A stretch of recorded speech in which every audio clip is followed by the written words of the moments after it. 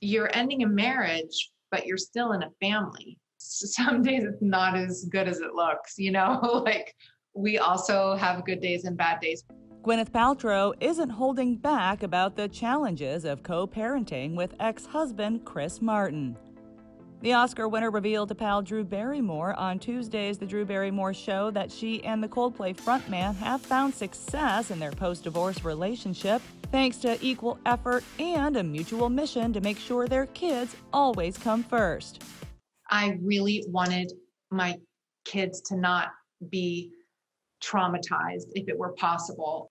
Chris and I committed to putting them first, and that's harder than it looks because some days you really don't want to be with the person that you're getting divorced from.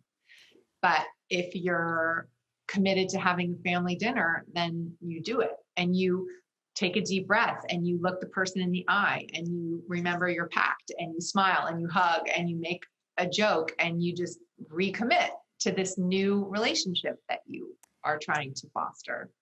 Gwyneth acknowledged that turning conscious uncoupling into a household phrase, thanks to her and Chris's now famous split announcement in 2014, has been a lot to live up to, and they managed to make it work most of the time. But that doesn't mean there still aren't low points to face together, not unlike a marriage. You have to know that every relationship is 50 50, no matter what you think how you think you were wronged or you know how bad you perceive the other person's actions or whatever the case may be if you are brave enough to take responsibility for your half and really look at your own garbage and your own trauma and how it's presenting in the world and in your relationship then there's really somewhere to go. Gwyneth and second husband Brad Falchuk tied the knot in 2018, and the blended family, including Brad's kids from his first marriage, regularly partake in dinners and even vacations together. Yep, with Chris.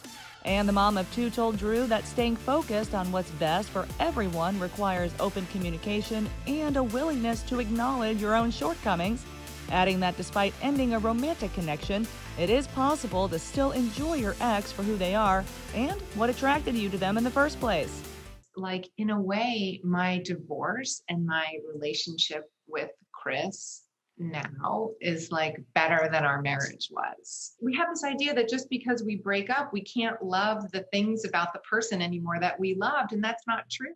Is there anything Gwyneth can't do? Leave it to Goop to set the standard for ex couple goals.